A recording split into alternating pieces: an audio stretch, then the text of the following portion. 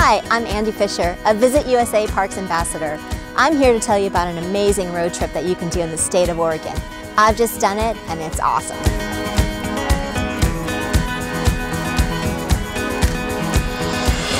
You can easily fly into Eugene or Portland, grab your bags, breeze by the on-site rental car counter, and hit the road for a romantic road trip filled with wines, wings, and whales.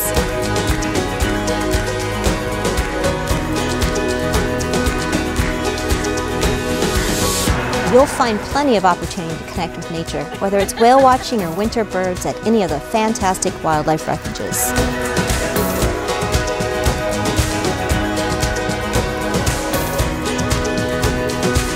Once you've had your fill of rugged coastline, lighthouses, and walks on the beach, hop in the car and head for Willamette Valley.